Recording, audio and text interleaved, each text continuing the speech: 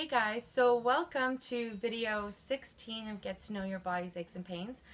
Today I'm going to give you some symptoms involving some nerve pain or weakness that involves the arms. So again, it kind of starts with the brachial plexus where there's a bunch of nerves that run down the arm, a certain pattern. I'm just going to give you a few common ones because it's a lot to digest. So the radial nerve would go from the brachial plexus going past the deltoids here and it goes all the way, wraps around the elbow and then goes into the thumb. Okay, it kind of hits here. Then there's the ulnar nerve. So the ulnar nerve goes all the way up the back of the arm, so in the triceps, runs down around the elbow, hits the pinky. And then the median nerve goes down here and hits the middle fingers. So if you're experiencing any kind of sensation where you have tingling, numbness, um, pain, nerve pain, so it's like in the fingers or it could be anywhere in the arm, um, those are symptoms you may experience. Now what I wanted to go more in detail about is um, it's kind of referred to as double crush syndrome. Uh, it could also be mistaken for carpal tunnel sometimes. So basically I'm going to break it down. I always talk about trigger points. Trigger points, when they're formed in different locations, they can compress either the, the veins, arteries, or the nerves.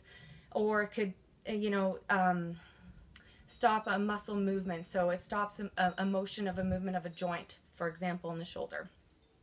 So I'm going to give you an example of double crush syndrome and how you would have a symptom of that with the radial nerve. So again, as I said, the radial nerve goes into the deltoid around here and in here. So if you have pain, numbness, or just weakness of moving uh, this area here or in the arm, then there would have to be a, a compression of um, the nerve from a trigger point around this area. So it'd be anywhere above it. If there's weakness in this area, it would be above it. If you are having any kind of nerve pain, weakness in the upper arm and goes all the way down, then it would move up. So we would be checking the deltoids here. So I'd be checking now in these two areas. So if now this whole arm is affected, I would uh, check for trigger points in the deltoids, trigger points in the forearm. Now that's double crush syndrome. Again, because it's coming from the brachial plexus area.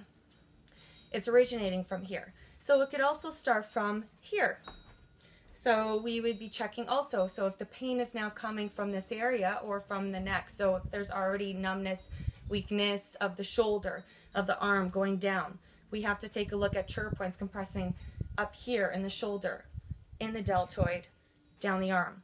That's just an example for the radial nerve.